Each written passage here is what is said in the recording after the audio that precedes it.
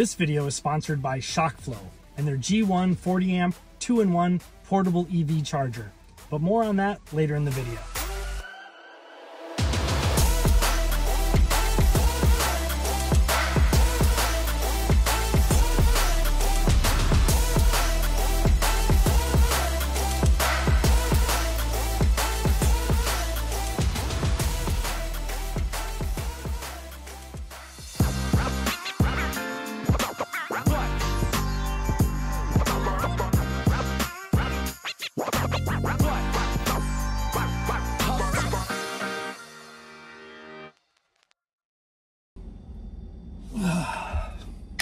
Good morning.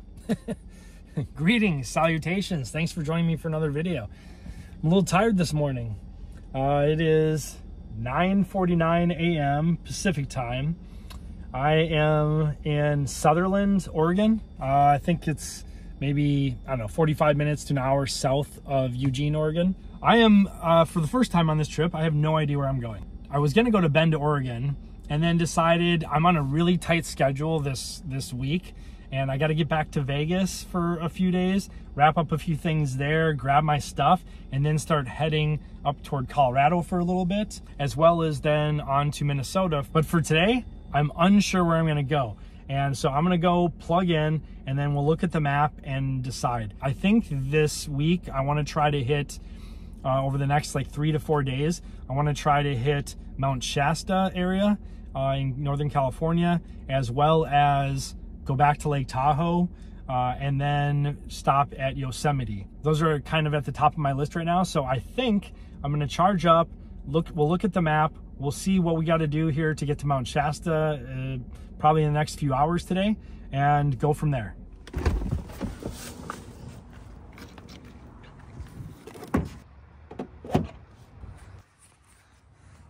It's an interesting handle there.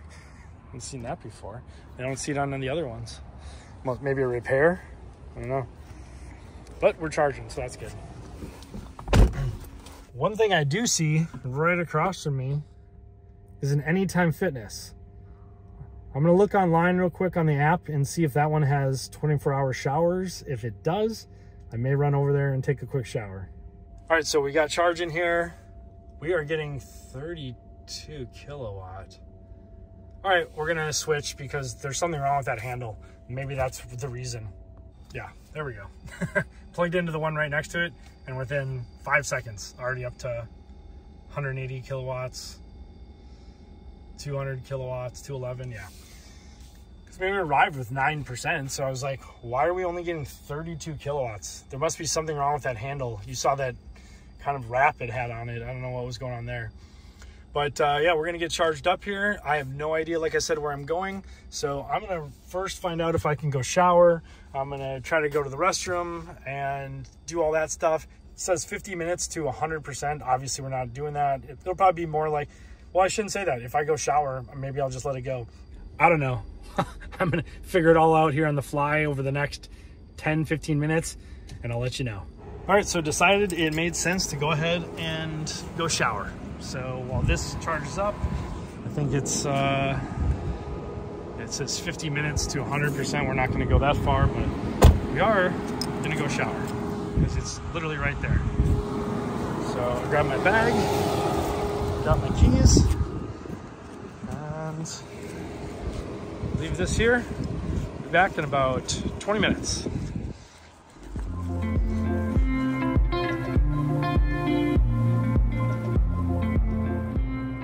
Actually not bad. So much better. So feel much better and amazing what a shower will do when you're on the road like this. And when there's one 20 second walk away, you definitely have to take advantage of that. All right, so I decided I'm just gonna go, you can see me right here. There's Eugene, Oregon up here, um, a little bit south there, and I think it's called Sutherlin.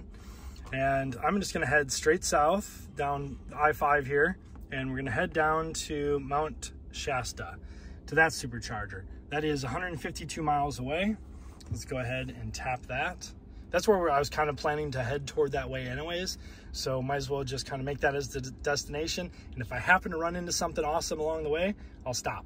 wants me to go to the Medford one. Why does it want me to go to the Medford one? Remove all charging stops. Why would I need to go to Medford? Oh, I get it. That's why. Uh, because the elevation changes and stuff like that, up and down, I mean, we got to go past like Grants Pass. I'm imagining that that's going to take a hit on the range. So it wants me to stop once along the way because it says right now I'd only arrive with 3%. All right, we're just going to go to this uh, Eureka one. And in California, we're just going to go straight there. No stopping. it's also 250 kilowatt, you know, bunch of chargers, no problems. It says we'll arrive with 16%. Well, now it says 8%. Jeez. Well, all right, I'm gonna stick around for a few minutes anyways because I gotta make a phone call and then we'll see where I'm at at that point, see what that says, and then we'll try to take off. All right, finally ready to go. I just took a phone call and up to 98%. Uh, it says that I'd arrive at the supercharger in Eureka. Uh, I think that's how you say that. Um, it's 15% is what I should have when I get there. We'll see how accurate that is with all the mountains and stuff. Hopefully some very scenic views for, uh, for all of us. And let's go ahead and get unplugged and let's take off.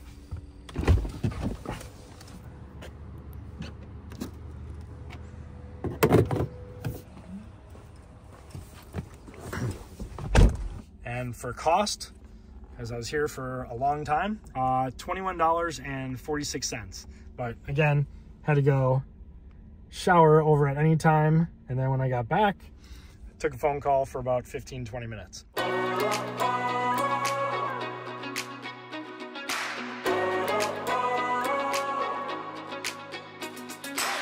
No battery left, stuck running on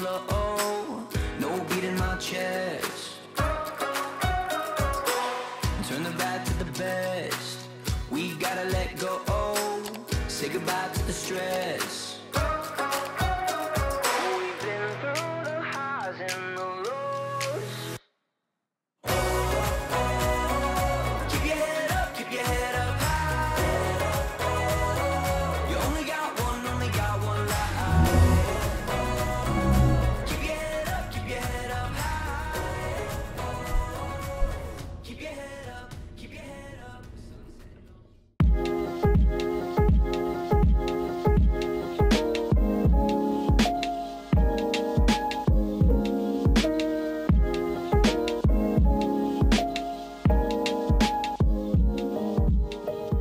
Minutes from the supercharger and I just saw this uh, pull off here.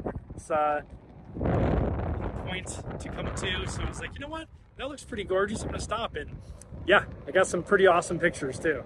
Northern California, pretty gorgeous.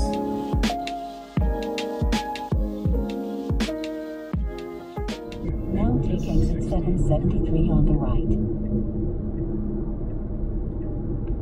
In 1,000 feet, turn right onto Moonlit Oaks Avenue. All right, just getting to the Yreka. I don't know how to say it. Uh, California Supercharger.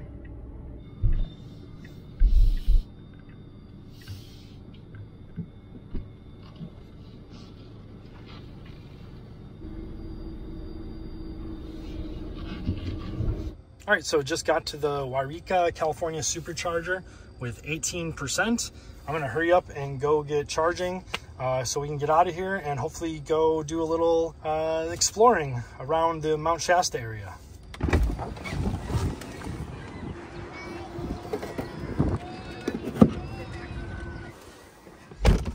All right, we are charging up. This is 12 stalls at 250 kilowatt. All right, so we are only 32 miles from the Mount Shasta supercharger. That is 16 stalls at 150 kilowatt. We probably don't even need to go there. Um, I'm gonna probably look on the map, on the regular map, and find out exactly where like the best entrance is for Mount Shasta, best viewing spots will be, and uh, I'll catch up with you right before I take off. All right, so we are up to 80%, 81%, and we are going to head down to just west of Mount Shasta. We're going to Lake Siskiyou, right there. We're gonna go to that lake. So it looks like we have 37 miles, 37 minutes left, and we'll arrive with 63%. I sat around a little bit longer and decided that I was like, you know what, I might as well sit here a little bit longer instead of having to go to the Mount Shasta one. Then I can actually get there and drive around and explore for a while and then come back and charge when I'm done. Let's go ahead and unhook and head down there and hopefully get the e-bike out or go for a hike or something.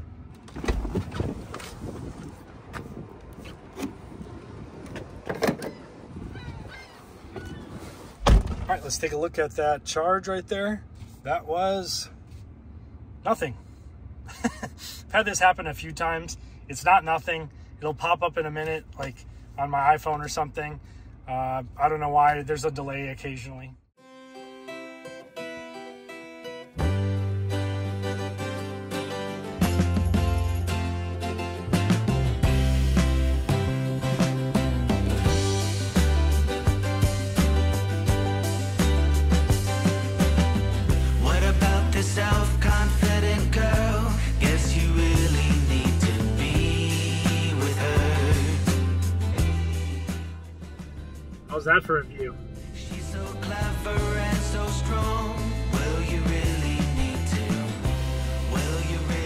Need to meet her?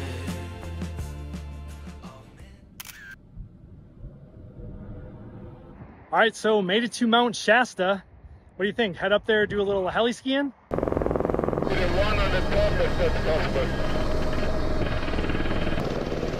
Four, three, two, one. In 500 feet, turn left onto Siskiyou Lake Boulevard. For the resort.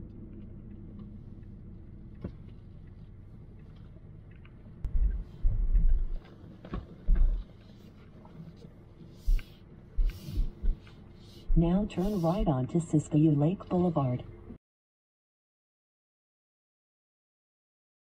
And that actually is a great segue into our sponsor for today's video, ShockFlo. The ShockFlo G1 40 amp portable J1772 level 2 charger is light at just over 10 pounds and comes in this sleek black carrying case, which easily fits in your frunk, subtrunk, under the seat, or even in the shallow subtrunk. What's cool about this one is it's a two-in-one charger. You use it as a portable charger when you're on the road at campgrounds or even like hotels or friends' houses that have a 50 amp plug or as a home wall charger in your garage. It's quick and powerful and can charge it 10 times faster than a standard 110 volt wall charger and adds 36 miles of range per hour at up to 9.6 kilowatts when using level 2 charging. It's IP67 water and dust proof, it's runover proof, lightning proof, not going to test that, and operates at a temperature of minus 22 Fahrenheit to plus 122 Fahrenheit. It's got a 20 foot charging cable and it's compatible with J1772 plug-in electric cars and ShockFlo is nice enough to include their Tesla J1772 adapter which is sold separately. It also comes with smart charging, which allows you to plug in, but set the time of day or night when your electricity cost is low. So you get the most out of your charging sessions for the least cost. You can of course do this on your Tesla as well. The charger comes with free shipping, a risk-free 30-day return policy, and a three-year warranty. All right, so let's take a quick look at the setup so we can plug in and start charging. The ShockFlo G1 comes with the charger, carrying case, wall mount for your home, and user manual in the box. The Tesla J1772 adapter is sold separately, but I'll leave links to both along with any discount codes in the description down below. I'm just gonna flip it up, turn it on. All right, let's go ahead and get it plugged in. Currently available on ShockFlo for 30% off at $245. And if there is a discount code, I will make sure to put it in the description below so you can save even more.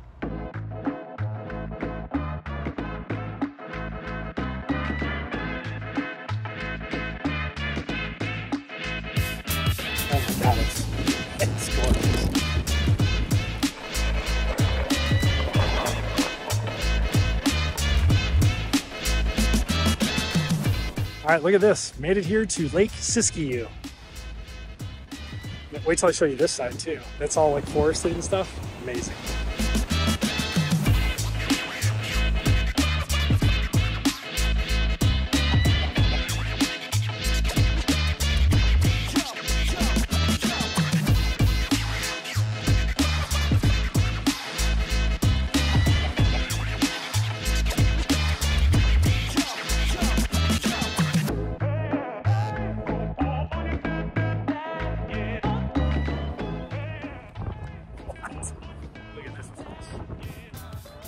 Haven't been, this is Lake Siskiyou at Mount Shasta.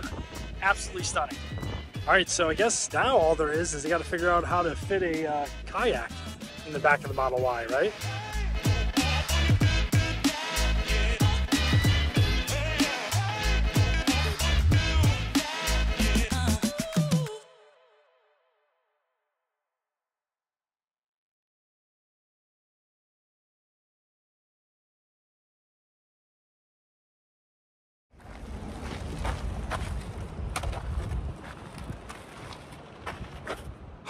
That was a lot of fun. Time to dump some footage and then head for Lake Tahoe. All right, so I put everything back inside. I ended up actually bringing this back here. I gotta get a longer 12 volt cord for the OUPES uh, 1800 watt solar generator because it doesn't reach all the way up to the front. So I'm gonna have to contact them and get another one, just a little bit longer. Took the battery out of the bike, out of the electric bike, and just have that charging right here into the AC. And if we tap on that, you can see right now that we're using 95 watts. And you can see that charging that'll turn green when it's done. So yeah, everything's in there. All right, so I think probably have some dinner and then the next stop is going to be Lake Tahoe. All right, so yeah, I had a lot of fun biking here around Lake Siskiyou and of course around Mount Shasta. And so it was absolutely gorgeous around here and I hope to get back here sometime soon when I have a little bit more time. But I do need to keep things moving. So I think that's gonna wrap it up for this video. I really appreciate you watching. And if you have any other suggestions for places to go, make sure to leave a comment down below the video. But I think this video is pretty much over. So if you enjoyed it and wanna see more like it, make sure to hit that like button and subscribe if you haven't already. And I will see you in the next travel quick tip or review video. Thanks for watching.